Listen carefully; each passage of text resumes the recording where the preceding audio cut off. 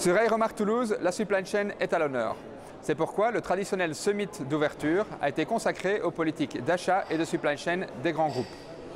Airbus, Boeing, Thales Alenia Space, l'ATCOR ont ainsi consacré une demi-journée de travail, d'échange et de débat avec leurs fournisseurs actuels et potentiels.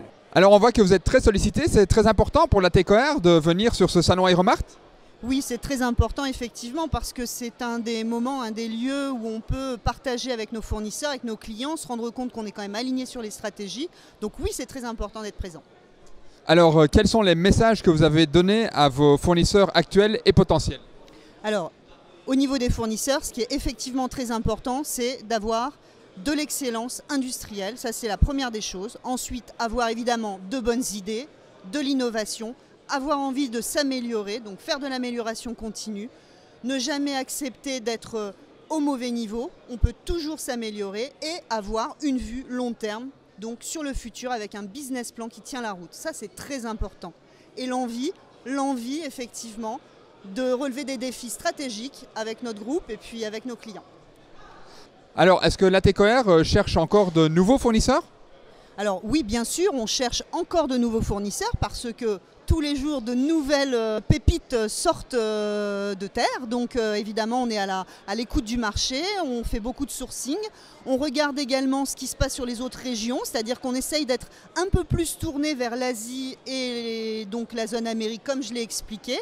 Mais on regarde aussi en Europe parce que tous les jours, euh, on a de nouvelles sociétés innovantes qui voient le jour ou bien des concentrations euh, qui peuvent donner du sens euh, au niveau business pour nos futures affaires ou nos affaires courantes. Alors vous avez beaucoup d'ambition pour la TKR, vous avez beaucoup d'ambition pour vos fournisseurs. Comment pouvez-vous aider vos fournisseurs à atteindre cette ambition très haute que vous leur fixez? Alors de plusieurs manières. La première évidemment c'est d'essayer de, leur, euh, de leur montrer quelles sont leurs voies d'amélioration. Donc on, fait énormément d'audits, on essaye de faire en sorte de leur donner la meilleure vision possible d'eux-mêmes au travers de nos propres yeux, comme les autres le font mais ça ne suffit pas. Il faut également pouvoir les accompagner, il faut pouvoir leur euh, fournir des, des, solutions de plan d'action et également euh, des moyens, parce que tout le monde n'a pas les mêmes moyens.